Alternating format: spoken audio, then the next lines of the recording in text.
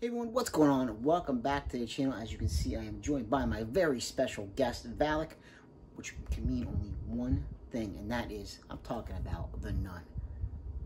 Now, with The Nun 2 just on the horizon coming out in theaters this week, I thought it'd be fun to go back and watch The Nun. This is the only third time that I've watched this film. I did see it back in the theaters back in the day when it came out. But yeah, I thought it'd be fun to revisit this one. Now, really cool particular cover. Hopefully you can make it out on the camera course, the original artwork right there. Now, when this film came out, there was such hatred for this film.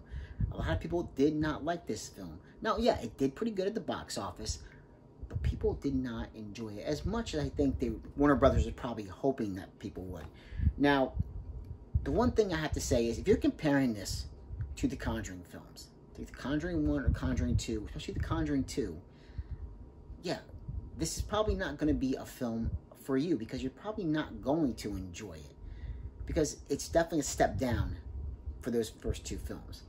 But is this film enjoyable on its own? If you look at it as its own separate thing, is it an enjoyable film?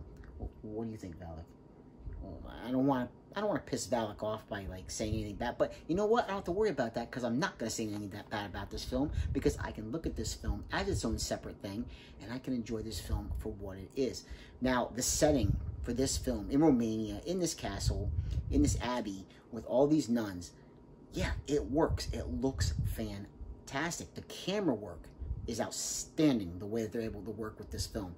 There are shots in this film where it had this like really really cool red lighting that's around almost makes me reminds me of Suspiria in a way, like a little bit of Argento feel with the way some of this camera work is in this film.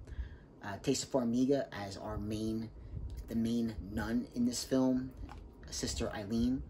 Yeah, she is fantastic. She's definitely you could tell, and it, every time that I see her, knowing she's the younger sister of Vera Farmiga, I mean they look like it's it's like identical like they look like they could be, you know, mother and daughter and not so much, you know, sisters. But I just, I, I think she's a really, really good actress. I really do.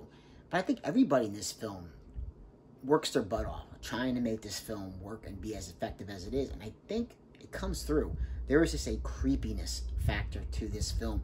And there are some pretty good jump scares in this. I absolutely love, love this character because I think it's one of the scariest freaking characters I characters I've ever seen put on screen.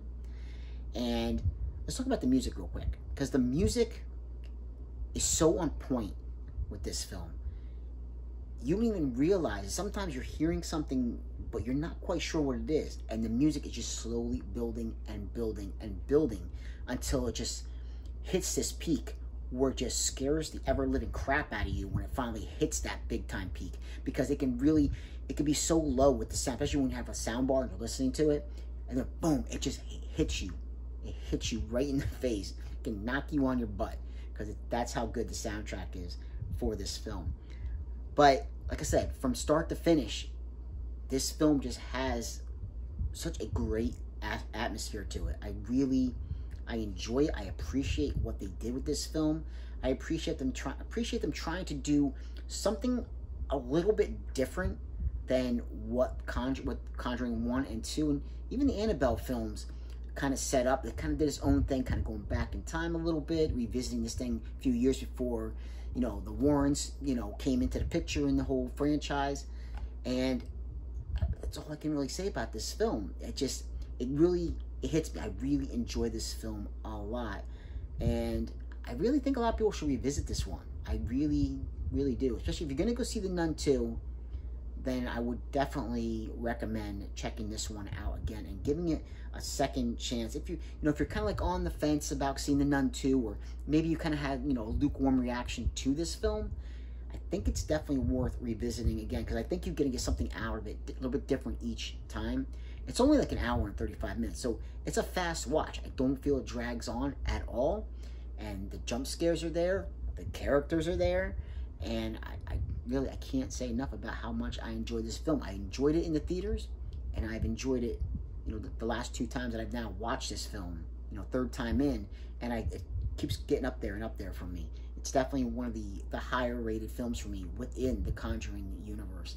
So yeah, definitely give go back, give the Nun a second chance. If you know, like I said, if you're on the fence before, you really didn't care for it, I'm telling you, just give it another try and see what you think. Just put the other films out of your mind for a little while and enjoy this one for what it is.